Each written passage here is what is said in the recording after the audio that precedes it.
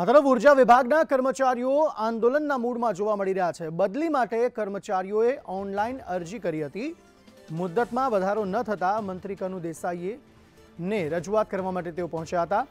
એકત્રીસ માર્ચ સુધી ઓનલાઈન અરજીની મુદ્દત વધારવા રજૂઆત, મુદ્દતમાં વધારો ન થાય તો આંદોલનની ચીમકી આપી છે. જીબી કામદાર સંઘના જોઈન્ટ પ્રેસિડેન્ટ ગજેન્દ્રભાઈ ભટ્ટનું નિવેદન, ઊર્જા વિભાગના પિસ્તાળીસ હજાર કર્મચારીઓ છે.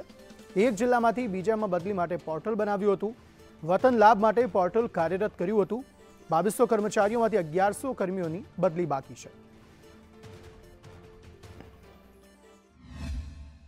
જે કર્મચારીઓને વતનના જિલ્લામાં બદલીનો લાભ મળવો જોઈએ, એમાં પચાસ ટકાને લાભ મળી ગયો અને પચાસ ટકા રહી ગયા છે.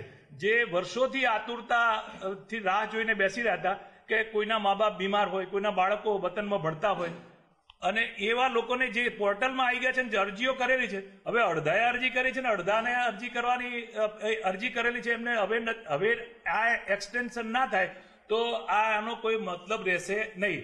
પચાસ ટકાને કરવાની પચાસ ટકાને નહીં કરવાની, એ તો અન્યાય થયા કરાશે અને કર્મચારીઓમાં વૈમનસ્ય પેદા થશે.